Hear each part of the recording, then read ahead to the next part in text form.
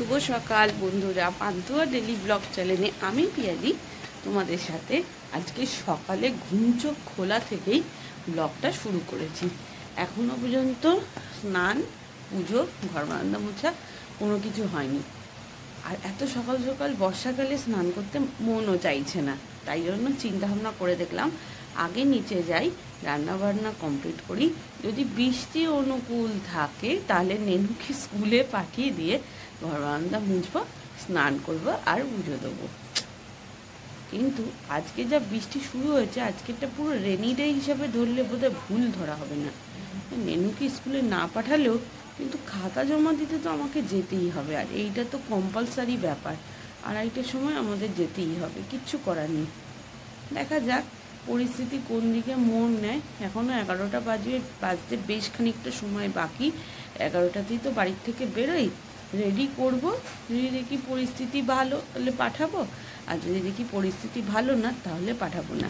যাই হোক, তোমরা সবাই কেমন আছো? আমাকে প্লিজ কমেন্টের মাধ্যমে জানিও। আমি কিন্তু বেশ ভালো আছি। মন থেকে একটু খারাপ আছি, কারণটা যদিও অতি সিক্রেট তোমাদের সাথে শেয়ার করতে পারব না। খুব সেন্সিটিভ একটা কারণ। কিন্তু আদৌ আর সব কিছু দিক থেকে আমি বেশ ভালোই আছি। পায়রাগুলো বারবার ছাদে আসছে। খাবারের লোভে। কিন্তু বর্ষার মধ্যে কেউ আর কোনো রকম খাবার দেয়নি। কিন্তু কিছু করার নেই। ওদের তো অভ্যাস, ওদের খিদে পেয়ে গেছে। ওরা বারবার আসছে। দেখি নিচে যাই। যদি সম্ভব হয়, একবার ছাদে এসে দুটো মুড়ি ছড়িয়ে দিয়ে যাব। কিংবা বিস্কুট দিলে তো গোলে কাদা হয়ে যাবে। মুড়ি দিলে মুড়িটাও সেই একই ব্যাপার। কিন্তু রুটি ফুটি তো নেই যে রুটি দেব। তো চলো দেখা যাক। কিছু যদি মনে হয় দেওয়ার মতো তাই নিশ্চয়ই এসে দিয়ে যাব। আর তোমাদের দিন কেমন কাটছে আমাকে প্লিজ কমেন্টের মাধ্যমে জানিও। তো চলো, সাথে থাকো আর দেখতে থাকো পান্তুয়া ডেলি ব্লগ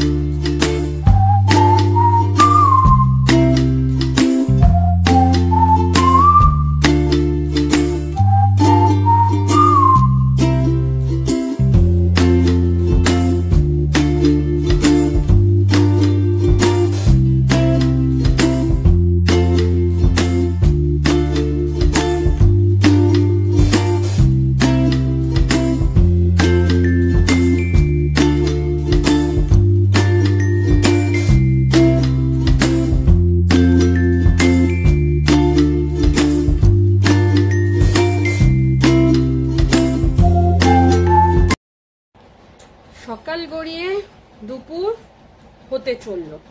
ঘড়ি কাটা বাজে বারোটা সাতচল্লিশ। নেনুকে ফাইনালি স্কুলে দিয়ে আসতে পারলাম। অর্পণের পুরনো একটা রেনকোট ছিল, সেই রেনকোটটা পরে কোনো রকমের স্কুটিটা নিয়ে নেনুকে স্কুল পর্যন্ত পৌঁছে দিলাম।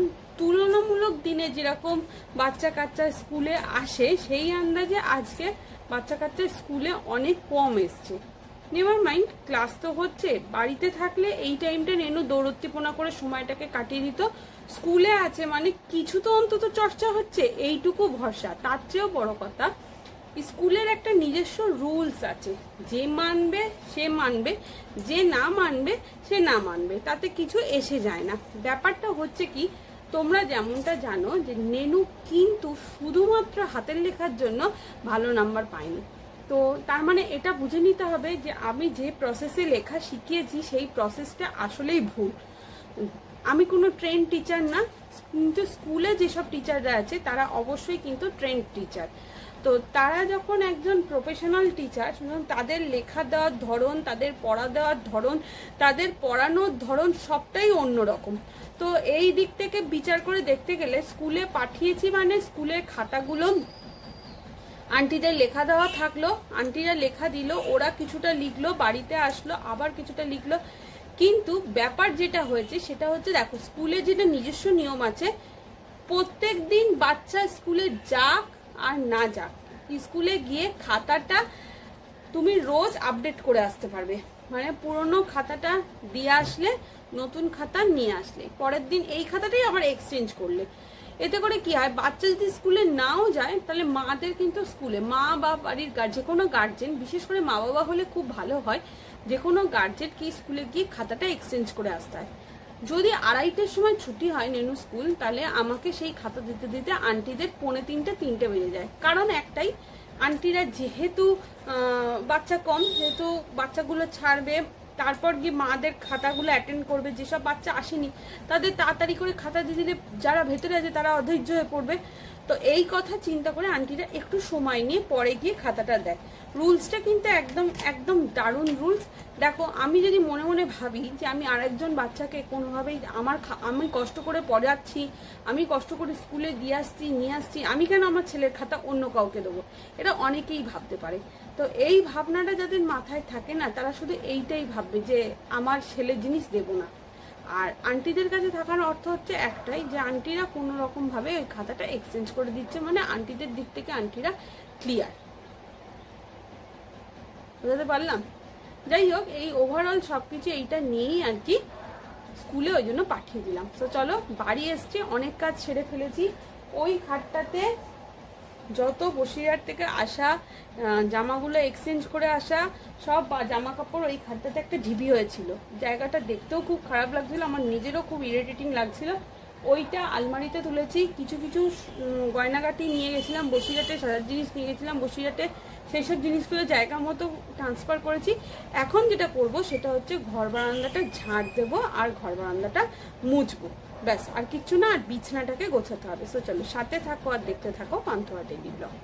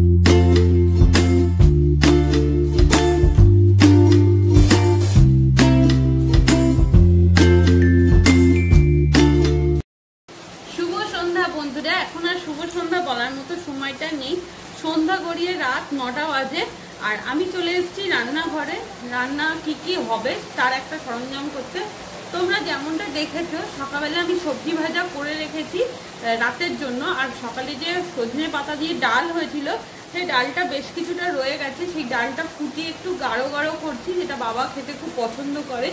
সবজি ভাজা আছে, ডিমের অমলেট আছে। আর কালকে একটু চিকেন কষা করেছিলাম, যেটা বিরিয়ানির জন্য। সেই চিকেনই একটুখানি রয়ে গেছে, সেটা একটু ভালো করে জল দিয়ে ফুটিয়ে গরম করব, ওটা অর্পণের হয়ে যাবে। তো আর একটু ডিমের অমলেট করব। আর অল্প দু চারটে ভাত আছে, সেই ভাতটা একটু ভাজা করে দেবো। মা একটু খাবে। কেননা মায়ের এসছে ঘুম, জ্বর, আর মায়ের মুখে কোনো কিছু স্বাদ নেই। তো যদি ওই ভাতটা খায়, একটু ভাজা করে দেবো, ভাত ভাজা মানে বিরিয়ানির মতো যদি করে দিলে ভালো খায়। তো ওইটা একটু করে দেবো। দেখা যাক মা খায় কি খায় না। আর রান্নাঘর মোটামুটি পরিষ্কার আছে, শুধু বাসন বাসন বেশ কিছুটা আছে। সেগুলো মেজে ফেললে, আর জলের বোতল খুব অল্প। ভরে ফেললেই মোটামুটি কাজ কমপ্লিট তবে একটা জিনিস তোমাদের সাথে না শেয়ার করে পাচ্ছি না, জানি না সব জায়গায় হচ্ছে কি না তবে বসিরাটাও হচ্ছে আমার আশেপাশের চত্বরেও হচ্ছে, তাই আমি তোমাদের সাথে শেয়ার করতে পারছি। লাগাতার বৃষ্টি হচ্ছে, লাগাতার বৃষ্টি। যে আবহাওয়া দপ্তরে যে খবরগুলো আসে না, সেইখানে ক্লিক করে দেখলাম যে এই সপ্তাহটা রয়েছে দেখছ? একদম মুসুল ধারে লাইটটার দিকে দেখো, দেখলে বুঝতে পারবে, একদম মুসুল ধারে বৃষ্টি পড়ছে। মুসুল ধারে, কোনো কথা হবে না। দেখলে? সন্ধ্যের দিকে আকাশটা হালকা একটুখানি মেঘ ডাকার মতো ঝিলিক করে উঠেছিল। তখনই ভেবেছি যে যদি ঘুরুম করে বাজ পড়তো, তাহলে হয়তো মেঘটা কেটে যেত। বা বাজ পড়েনি, শুধু আকাশে ঝিলিক করে উঠেছে। তার মানে মেঘ কাটেনি, বৃষ্টি হওয়ার একটা সম্ভাবনা রয়েই যাচ্ছে। তো চলো, অনেক বক বক করে ফেললাম। আজকে রান্নাঘরের সমস্ত কাজ তোমাদের সাথে শেয়ার করব। সাথে থাকো আর দেখতে থাকো পান্তুয়া ডেলি ব্লগ আর এখানে আমার ডালটা মোটামুটি ফুট উঠে গেছে। এটা আরেকটু ভালো মতো ফুটলেই মানে আরেকটু গাঢ় হলেই, দেখো, একটু আরেকটু গাঢ় হলেই ডালটাকে নামাবো। তারপরে মাংস গরম করব, সবজি, ভাজাটা গরম করব। আর শীত হোক, বর্ষা হোক, গরম হোক, খাবার যদি একটু গরম গরম হয় না, তার টেস্ট একটা অন্যরকম চলে আসে। তো ওই চিন্তা করেই আর কি সব কিছু গরম করব, যাতে করে খাবারটা খেতে খুব ভালো লাগে। তো চলো, কাজে মনোযোগ দেওয়া যাক।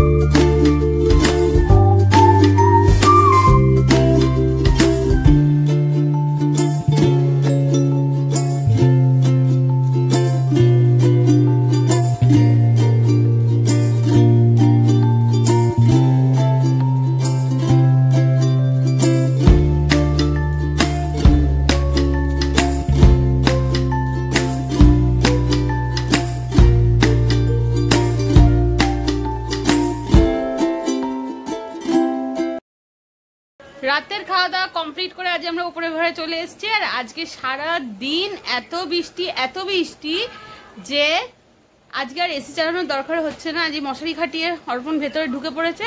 অপেক্ষা আমার আর নেনুর। আর তোমাদেরকে সেই দিনকে যে বলেছিলাম না, একটা ব্যাগ কিনে এনেছি। সেই ব্যাগটা হচ্ছে এই ব্যাগটা। এটা স্কুলের জন্য নিয়েছি। চেন দেওয়া, দেখো, ইউজও করে ফেলেছি আজকে দুদিন ধরে বাট আজকে নিয়ে যেতে পারিনি।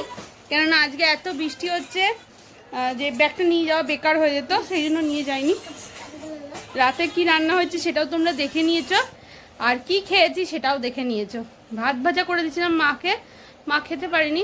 মায়ের গায়ে জ্বর আছে, জ্বরটা কমলে আই হোক মা হয়তো শরীরটা ঠিক হয়ে যাবে। সো যারা আমার ব্লগটা দেখছ, আসো। ঠিক করে একটু বলো না, ঠিক করে বলো। করতে ভুলে তাদেরকে বলা যায় প্লিজ তোমরা like share comment and subscribe করে দিও সো চলো সাথে থাকো আর দেখতে থাকো পান্তুয়া ডেলি ব্লগ সো আজকের মতো টাটা দেখা হবে কাল নতুন একটা ব্লগ নিয়ে আমি পিয়ালি পান্ডুয়া দিল্লি বাগে আমার সাথে হাজির হয়ে যাব। হাজির হয়ে যাব। সরি বলো। সরি বলো। ঢেকুর উঠল না? সরি বলতে হয়। সারি হুম। তো চলো আজকের মতো টাটা জয় জগন্নাথের জয় tata tata good night love you